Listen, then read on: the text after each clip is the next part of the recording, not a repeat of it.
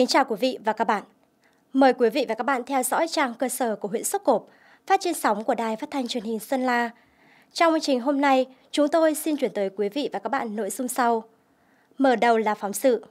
Lưu giữ nghề dệt thổ cầm của dân tộc Lào.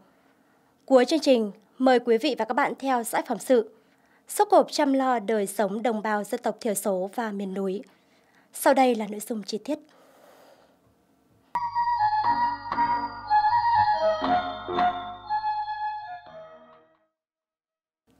Thưa quý vị và các bạn, đồng bào dân tộc Lào ở bản Mường Và, xã Mường Và, huyện Sóc Cộp có một nghề thủ công truyền thống là nghề dệt thổ cẩm, luôn gắn liền với cuộc sống sinh hoạt.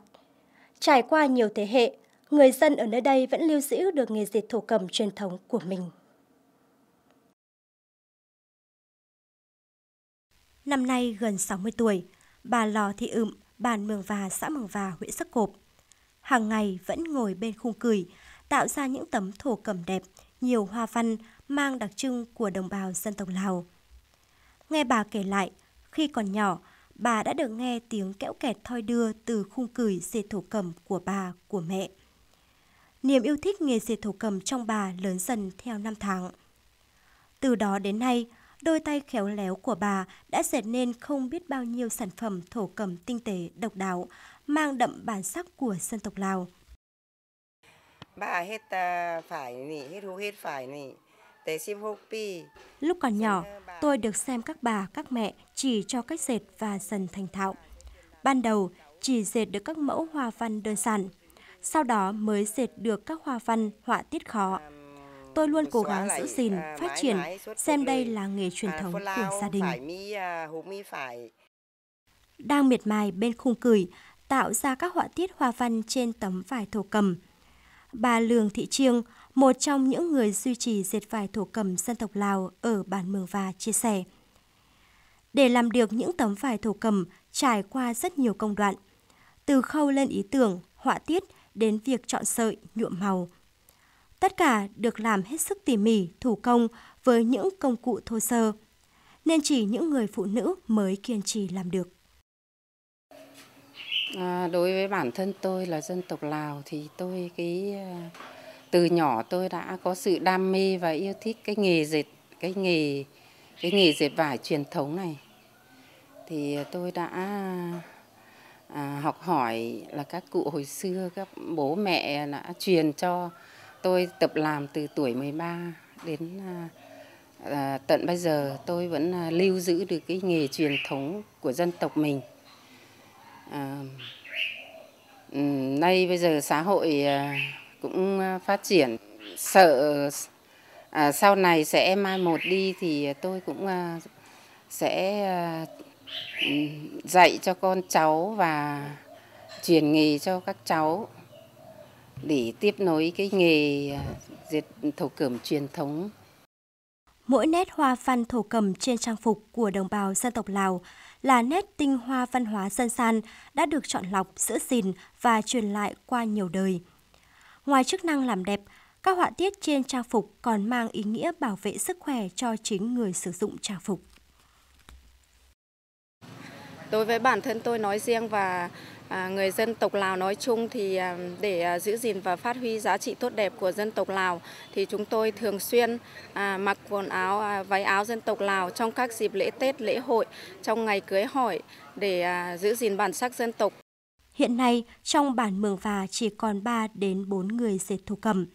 Mỗi sản phẩm thổ cầm được theo dệt mang nét văn hóa đặc trưng, chứa đựng kết tinh văn hóa đồng bào dân tộc Lào. Bà con dân tộc Lào bản Mường Và đang giữ gìn, làm phong phú thêm nét đẹp văn hóa truyền thống gắn với làm du lịch tại cộng đồng. Nghề dệt thổ cẩm của dân tộc Lào thì đã được à, giữ gìn và lưu truyền lại từ à, à bao đời nay. À, sắp tới để bảo tồn, lưu giữ và để quảng bá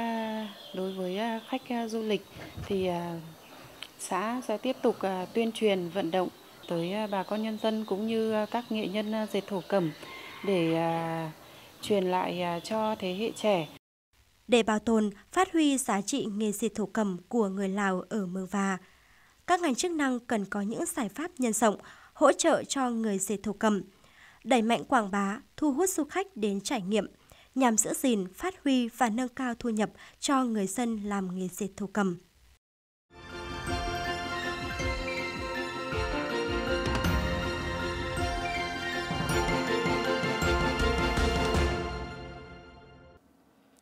Thưa quý vị và các bạn, xác định công tác dân tộc là một trong những nhiệm vụ chính trị quan trọng.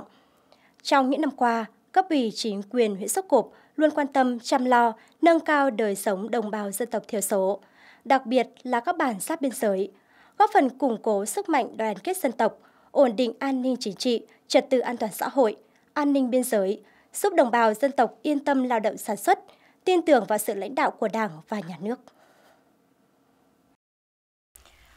Huyện Sóc Cộp có 96% dân số là đồng bào dân tộc thiểu số, với trên 54.000 người gồm 5 dân tộc Thái, Mông, Lào, Khơ Mú, Kinh, là một trong hai huyện nghèo của tỉnh Sơn La, tỷ lệ hộ nghèo, hộ cận nghèo cao. Với phương châm không để ai bị bỏ lại phía sau, hàng năm cấp ủy đảng, chính quyền từ huyện đến xã luôn quan tâm triển khai thực hiện có hiệu quả các chương trình, dự án, chính sách dân tộc trong vùng đồng bào dân tộc thiểu số. Đặc biệt là công tác an sinh xã hội vùng đồng bào dân tộc thiểu số luôn nhận được sự quan tâm lãnh đạo, chỉ đạo kịp thời của tỉnh ủy, Hội đồng Nhân dân, Ủy ban dân tỉnh, sự phối hợp của các cấp, các ngành trong quá trình tổ chức triển khai thực hiện các chương trình, chính sách đã phát huy được hiệu quả, đảm bảo công khai, minh bạch, đúng mục đích, đúng đối tượng, thực hiện có hiệu quả các chương trình mục tiêu quốc gia. Tổng kế hoạch vốn đầu tư phát triển nguồn ngân sách trung ương giai đoạn 2021-2025 thực hiện 3 chương trình mục tiêu quốc gia, phát triển kinh tế xã hội vùng đồng bào dân tộc thiểu số và miền núi, chương trình giảm nghèo bền vững, chương trình xây dựng nông thôn mới là 321 tỷ 721 triệu đồng – huyện đã tập trung hỗ trợ giải quyết tình trạng thiếu đất ở, nhà ở, đất sản xuất, nước sinh hoạt, phát triển sản xuất nông lâm nghiệp, đầu tư cơ sở hạ tầng thiết yếu phục vụ sản xuất, sinh hoạt của đồng bào dân tộc thiểu số. Phát triển giáo dục đào tạo, bảo tồn, phát huy bản sắc văn hóa truyền thống tốt đẹp của các dân tộc, chăm sóc sức khỏe nhân dân, phát triển hạ tầng kinh tế xã hội. Từ năm 2021 đến năm 2023, Số vốn thực hiện là trên 202 tỷ đồng để hỗ trợ phát triển sản xuất, tập huấn chuyển giao khoa học kỹ thuật, hỗ trợ cây giống, vật nuôi về trồng và chăm sóc, khoán bảo vệ rừng, đầu tư xây dựng trên 59 công trình giao thông thủy lợi, điện, trường học, trạm y tế, nhà văn hóa, nước sinh hoạt, cấp phát thẻ bảo hiểm y tế cho người dân tộc thiểu số. Tỷ lệ bao phủ bảo hiểm y tế của huyện đạt trên 98%. Ờ, thực hiện theo cái ờ, chương trình mục tiêu quốc gia ờ, giai đoạn 2021 2025 thì trên địa bàn xã năm 2023 thì đã được triển khai thực hiện là hỗ trợ là xây dựng mới là 8 cái nhà văn hóa. Đấy, trong đó là có nhà văn hóa của xã và 7 nhà văn hóa cho 7 bản trên địa bàn xã và triển khai thực hiện là hỗ trợ xây dựng cái uh, công trình uh, cầu cứng qua suối Bán phải đi vào Bán phải và thực hiện uh, xây dựng mới cái um, một công trình nước sinh hoạt và một đường giao thông vào bản Phá Thóng. Qua đó thì cũng đã góp phần cho xã Bông Bánh cũng như là bà con nhân dân trên địa bàn xã Bông Bánh là Ờ, có cái điều kiện nơi ờ, sinh hoạt ờ, tập thể cộng đồng. Đấy, góp phần xây dựng phát triển kinh tế xã hội ổn định về cái cuộc sống của bà con nhân dân. Được đảng, nhà nước quan tâm hỗ trợ cây con giống. Năm 2021 thì bản được hỗ trợ năm con bò giống. Cho năm hộ được ừ, thuộc đối tượng là hộ nghèo, hộ cận nghèo của bản. Và được chương trình 30A hỗ trợ lợn giống được cho 10 hộ. 10 hộ được ừ, hai con lợn giống ờ, thuộc ờ, hộ nghèo, hộ cận nghèo của bản. Ờ, năm 2023 thì được ban quản lý rừng đặc dụng huyện Sóc Cộp hỗ trợ 2.000 cây chám đen về trồng tập thể của bản. Nhân dân trong bản đã ừ, chăm sóc ừ, lang phát triển và hy vọng là sẽ ừ, có sản phẩm là quả cây chám đen bán ra thị trường để góp phần tạo thu nhập cho bà con trong bản. Từ năm 2021 đến nay, huyện đã tổ chức được 25 lớp đào tạo nghề dưới 3 tháng cho gần 800 lao động nông thôn dân tộc thiểu số. Các ngành nghề nông nghiệp như kỹ thuật nhân giống cây ăn quả, kỹ thuật trồng rừng, kỹ thuật nuôi và phòng trị bệnh châu bò, kỹ thuật trồng rau an toàn, kỹ thuật nuôi trồng thủy sản, kỹ thuật nuôi và phòng trị bệnh cho gia cầm, nâng tỷ lệ lao động qua đào tạo của huyện lên trên 30%. Ngoài ra, căn cứ vào tình hình thực tế tại địa phương, Ủy ban dân huyện đã chỉ đạo các phòng, ban chuyên môn, Ủy ban dân các xã phối hợp với các đơn vị tổ chức các hội nghị tư vấn tuyên truyền để tuyển chọn lao động đi làm việc tại các công ty, doanh nghiệp trong nước được trên 20 hội nghị, tư vấn cho trên 2.500 lao động. Kết quả đến nay đã có hơn 2.700 lao động đi làm việc tại các khu công nghiệp ngoài tỉnh, như công ty Mai Đức Giang, Samsung, công ty Than khoáng sản Việt Nam và lao động tự do đi làm việc ở các tỉnh. Bước đầu cũng làm tăng thu nhập cho gia đình, ổn định cuộc sống. Nhằm tạo công an việc làm cho đoàn viên thanh niên để đoàn viên thanh niên có việc làm ổn định, phát triển kinh tế, trong thời gian vừa qua, đoàn xã Phúng Bánh đã phối hợp với một số công ty trong nước như là công ty Than khoáng sản Việt Nam và công ty cổ phần quốc tế SEMA tổ chức các hội nghị tư vấn tuyển dụng giới thiệu việc làm cho đoàn viên thanh niên để đi làm tại các công ty trong nước và xuất khẩu lao động tại các nước như là Đài Loan, Nhật Bản. Qua việc tuyên truyền thì đã giúp cho đoàn viên thanh niên nhận thức được về nghề nghiệp, việc làm và định hướng giúp cho thanh niên chọn nghề nghiệp phù hợp với năng lực của bản thân. Hôm nay à, được à, các đại diện của công ty Sima về xuất khẩu lao động nước ngoài về à, tuyên truyền các à, dịch vụ đi à, xuất khẩu lao động và em cũng à, đã xác định được mình phù hợp với ngành nghề nào để đi xuất khẩu lao động nước ngoài để sau này mình kiếm tiền phụ giúp cho gia đình. Cùng với đào tạo nghề nhằm giảm nghèo bền vững, huyện phối hợp với Ngân hàng Chính sách Xã hội tạo điều kiện hỗ trợ vay vốn giúp người lao động phát triển kinh tế. Hiện nay, Ngân hàng Chính sách Xã hội huyện Sóc Cộp đã và đang triển khai thực hiện cho vay 14 chương trình tín dụng. Tổng dư nợ đến thời điểm này đạt trên 353 tỷ đồng, với 6.696 khách hàng vay vốn, giúp cho hơn 4.000 hộ nghèo, cận nghèo, hộ mới thoát nghèo, tạo việc làm cho 700 lao động – giúp cho 7 học sinh sinh viên được vay vốn học tập, hỗ trợ xây mới và cải tạo hơn 3.500 công trình nước sạch và vệ sinh môi trường, hỗ trợ xây nhà ở, sửa chữa nhà ở, hơn 500 ngôi nhà cho hộ nghèo, giúp cho người nghèo và đối tượng chính sách có điều kiện tự lực vươn lên, phát triển sản xuất, kinh doanh, nâng cao thu nhập, góp phần giảm tỷ lệ hộ nghèo dự kiến còn dưới 30% đến hết năm 2023 trong quá trình sử dụng vốn vay của các hộ vay đã đạt được cái hiệu quả của đồng vốn từ đó giúp bà con ừ, giảm nghèo và nâng cao thu nhập cho gia đình.